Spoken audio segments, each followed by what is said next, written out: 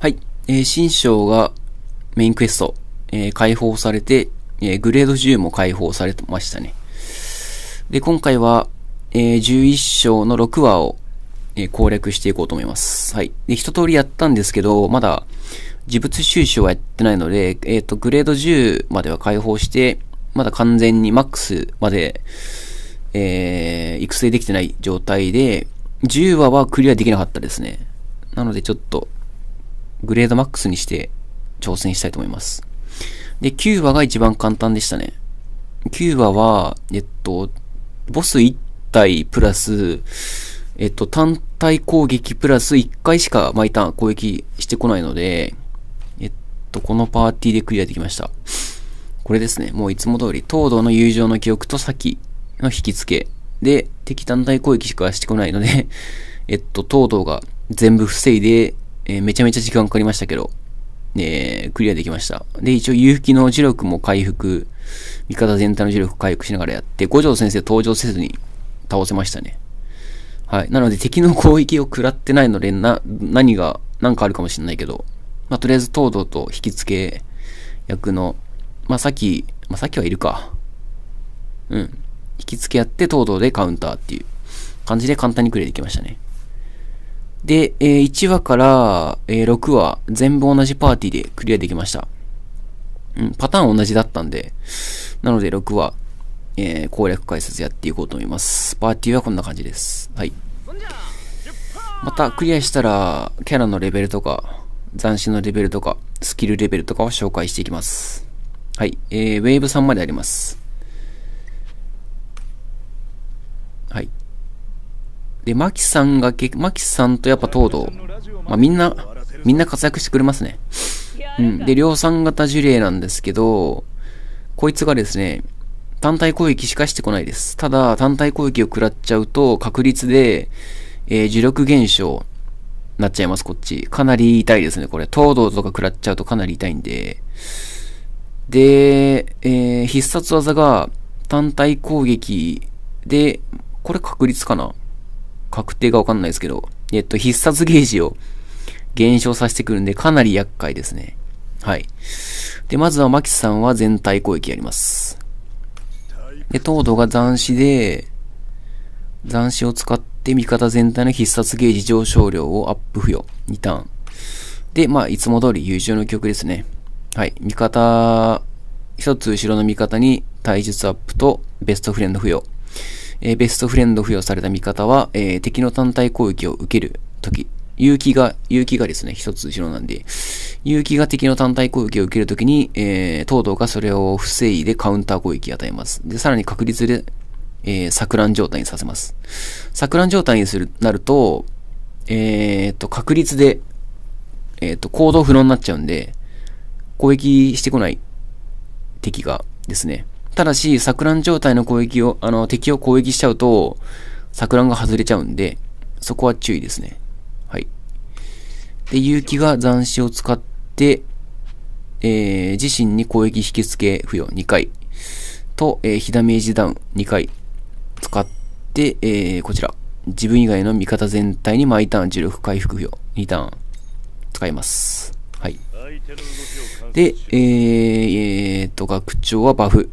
えー、味方全体に体術と術式アップ付与。はい。結局、東堂のベストフレンドをカウンター発動するときに 1, 1回につき呪力10を消費するんで、東堂の呪力がかなり重要なんですよね。うん。で、ここですね。錯乱状態の敵を攻撃しないように、マキさんは単体攻撃に切り替えます。で、えー、錯乱になってないやつですね。で、僕検証したんですけど、錯乱状態になった時の敵が行動不能になる確率は40%ぐらいでした。うん。結構でかいですよね。40%一回成功するだけで東堂の呪力が10節約できるんで、みんな、錯乱になってない敵を攻撃します。で、学長はひたすらバフ。あー、そうだね。うまく決まらなかったですね、錯乱が。はい。で、マキさんが、うん。まあ、とりあえず1体錯乱状態になってるんで、まだ単体攻撃。で、ここで、勇気が食らっちゃったんで、攻撃。えっと、引き付けが解除されちゃったんですよね。で、これが痛い。こうなると、東堂に攻撃飛んでくる場合があるんで、で、ここでマキさんに攻撃飛んでくれば、マキさん呪力関係ないので、あー、東堂、あ、でも、なんとか、呪力減らずに済みましたね。で、えーと、桜が2台。まあ、いっか。まあ、いっか、全体攻撃やっちゃって。多分、倒しちゃうんで、どっちか合わせても。え、あー、東堂が、次のターンでいっか。結城が次のターンで引き付けできるんで。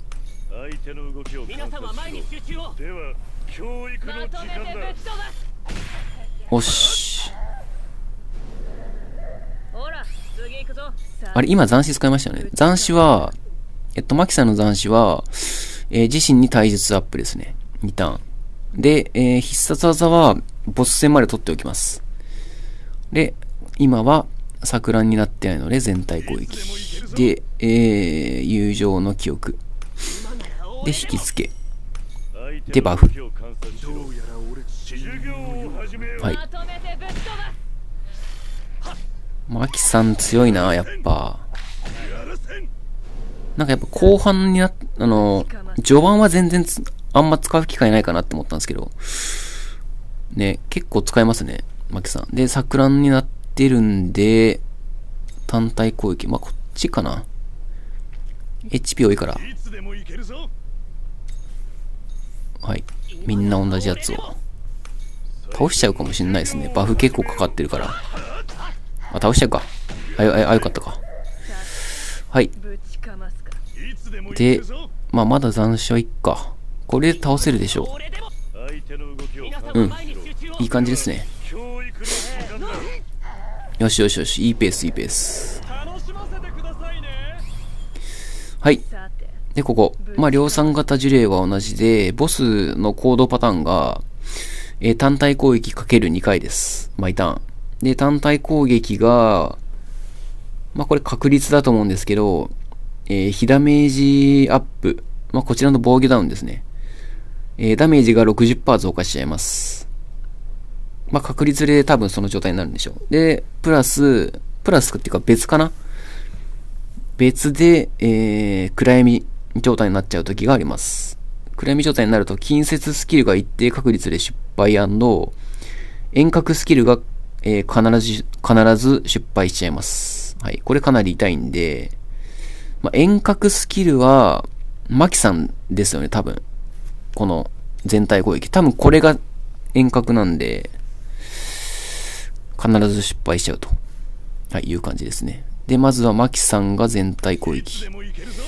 で、東堂の友情の記憶が外れてるんで、友情の記憶使って、え勇気が必殺技。自分以外の味方やに術式100、うん、アップ。まあ意味ないけど、全員体術だから。まあ連携必殺技打てるんで。で、学長が斬死で、えー、味方全体のダメージアップ2ターン使って必殺技。学長の必殺技必殺技がですね、敵の、えー、体術と術式ダウン付与、プラス火ダメージアップ付与してくれるんで、ボスに打ちます。基本ボスだけ狙っていくっていう感じですね。うん。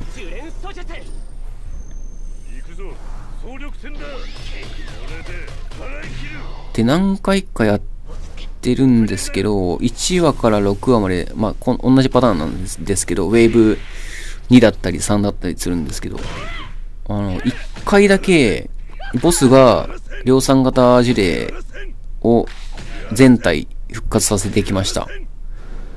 あとはしてこなかったんですけど、1回だけランダムなのかな、これ。はい。で、いい感じに全員桜になりましたね。で、ここで、えー、マキさんと東堂の必殺技ですね。まあ、男子使っちゃいますか。で、学長で火ダメージアップしてるんで、ダメージ量がアップした状態で、東堂とマキさんの連携必殺技ですね。で、あとは全員ボス。うん。で、バフ。そう、錯乱してるから、まあ、あとは行動不能になることを願って、うん。ボスは確定で2回攻撃してくるんで、そこで磁力20消費しちゃうんで、あとは、錯乱でね、少しでも糖度の磁力が節約できれば、っていう感じですね。で、磁力なくなった場合は勇気が攻撃受けるんですけど、うん。で、まあ勇気がやられても、五条先生いるしっていう感じですね。はい。で、磁力回復でバフ。よし、ブレークできました。これはでかいよ。あー。一体だけ。あー、そうか。一体だけ。か。じゃあまあもう、一体だけで、今友情の記憶が外れちゃったんですよね。なのでもう、いっか。全員攻撃して。で、結城がやられても、あの、五条先生飛んでくるんで、友情の記憶使わずに、もう攻撃しちゃいます、ボス。で、バフ。で、結城が生き残ったとしても、うん、東堂の磁力が回復するんで、で、多分これで倒せるんじゃないかな。全員。で、まだ、で、倒した後にボスがまだブレイク状態なんで、うん。まあ、いっか。で、やられても五条先生が来るから大丈夫っていう感じで。はい、倒しました。OK。じゃあ大丈夫。で、攻撃、友情の記憶、引き付けやって、バフ。よしよしよしよしよし。いい感じですね。復活やってこないか。よし。じゃあ、どうしよう。マキさんと、学長でいっか。これ大丈夫そうですね。五条先生出てない状態でこれだけ減らしてくれてるんで、まあ多分大丈夫だと思います。はい。まあ、やっぱポイントは敵が単体攻撃しかないので、東堂の優勝の記憶ですね。ただ、敵の数多いし、ボス2回攻撃あるんで、と、東堂の呪力がめちゃめちゃ減っちゃうんで、えー、っと、勇気が必要っていうことですね。で、勇気が斬死で引き付けをやってるっていう。で、東堂のカウンターが決まるっていう感じですね。で、プラス学長のバフ。プラス、マキさんの全体攻撃。で、錯乱になってる敵がいると単体攻撃。うん。っていう感じで。まあ、いい、ボス戦でね、いい感じにザコも倒して、東堂の磁力も節約できるっていう感じですね。はい。これ、今の必殺技が、勇気食らったんですけど、1万6000ぐらい食らいましたね。うん。で、確か、呪力減少やってきました。うん。普通の攻撃は火ダメージアップか暗闇になるんですけど、確率で。必殺技の場合は重力減少やってくるっていう感じですね。あ今回は、えー、五条先生、なしで行きましたね。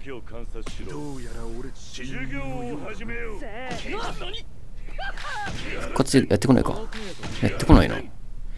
一回だけやってきたんですよね。もう大丈夫でしょうよし、行きました。はい。で、これで、6話をクリアすると、呪物収集が解放されて、さらにパワーアップできるようになるっていう感じですね。はい。じゃあ、チーム編成。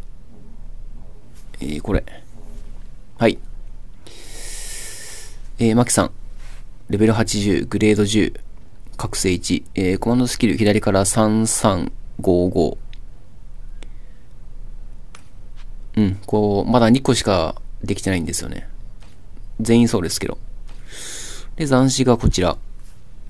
えーと、自身に体術アップ付与2ターン。まあ、これコマンドスキル発生、コマンドスキルの時だけですね。必殺技では使えないです。なので、まあ、全体攻撃の時に使ってますね。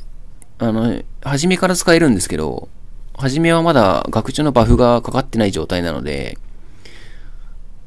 バフが4ターンだっけ？学長の。それかかった状態で使った方がいいですね。はい。で、糖度がレベル97、グレード10、覚醒3、コマンドスキルが左から3336。はい。で、残死が、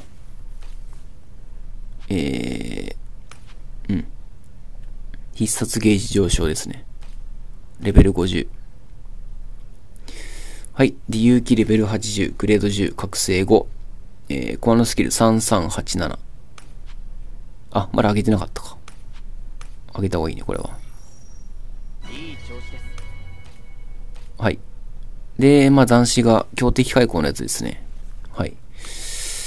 自身に引き付け。で、オートスキルで自分以外の味方全体に被ダメージ9%ダウン付与2回。これもいいんですよね。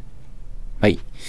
で、学長レベル97、グレード10、覚醒5、えー、コマンドスキル3937。そうか、け、エソーとケチーズの時に結構上げちゃったんだよね。コマンドスキル。あの、クリアできなかったから、難しくて。はい。で、残死が、えー、こちら。味方全体に4ダメージ15%アップ。付与2ターン。で、オートスキルがターン開始自身の HP が50%以下の場合、バトル中一度のみ。自身の呪力を20回復。はい。で、まあ、五条先生、保険で入れてるっていう感じで、えー、レベル98、グレード10、覚醒1。えー、コアのスキル3、えー、83、10、10。うん、これも10にしちゃったんですよね。で、斬死がこれです、これですね。えっと、強敵開口のやつで、えー、自身の必殺ゲージを360回復。で、これ、登場し、あの、サブに入れてると、ある程度必殺ゲージ回復した状態で登場するんですけど、プラス、え斬死を使って、五条先生出た1ターン目にこれ使います。バフ。使うと、えっと、もうほぼ満タンになるんですよね。必殺ゲージ。で、次のターンにもう一回バフかけて、マックスになっても必殺技打つっていう感じですね。うん。えっと、やっぱ、えー、っと、勇気が多分やられると思うんですけど、一番最初に引き付けなくなっちゃうんで、東堂の、えー、っと、友情の記憶の効果がなくなっちゃうんですよね。そもそも五条先生攻撃受けないし。なので、えー、量産型の必殺技受ける可能性もあるし、それで必殺ゲージがどんどん減らされてる可能性あるんですよ。他のキャラが。なので五条先生だけでも必殺技打てれば、最悪、最低でも量産型は一掃できるんで、そこで、そのうちにみんな必殺ゲージ回復できるし、えー、ボスのブレイクできる可能性もあるし、うん。っていう感じ。速攻、もう早めに最速でバフをかけた状態で五条先生が必殺技を打てるように、この斬死っていう感じですね。で、まあ学長が多分残ってると思うので、バフかけれるしっていう感じで。はい。単体でもいいのですぐに打てるようにっていう感じですね。必殺技。五条先生。うん。うん。五条先生はすぐ打ってください。バフ2回かけて、斬死使って速攻打つ。で、そうすると、うん。再使用まで4ターンなんで、もう一発使えるんですよね。なので2発打てます。五条先生。必殺技。はい。っていう感じで、えー、11章の6話、攻略動画でした。えー、ご視聴ありがとうございました。